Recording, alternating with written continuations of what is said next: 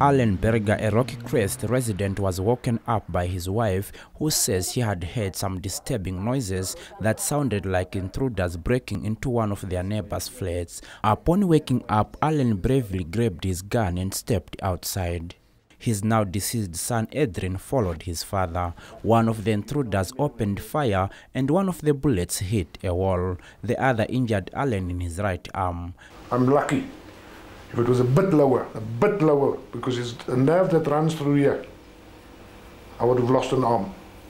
This was just the beginning of what would become a fatal incident. 32-year-old Adrian was behind his father and a bullet struck him in the stomach. Um, when the shots were fired, he had basically just gotten out, gotten up out of his bed, and he just came out of his room and he was basically caught in the line of fire. He just screamed, Mommy, I've been shot. Call the police, call the police.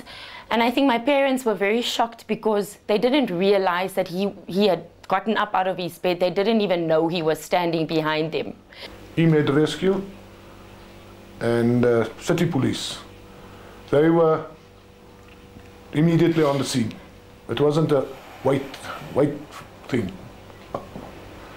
And that's a big plus for them, mm. that they came immediately yes. without, uh, but they, they, they, came here in, I think, three or four buckies, but they were here immediately.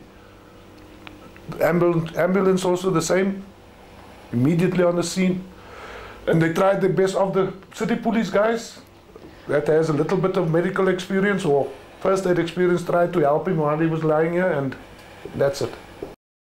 The suspect is still at large and the family can only hope that he is brought to book. Although these flats are protected with an electric fence, this did not stop the armed robbers to break in. It is also understood that there was another break-in on Sunday night and people living in these flats, they don't feel safe anymore. I am Aron Mushaukwa reporting for the News on One.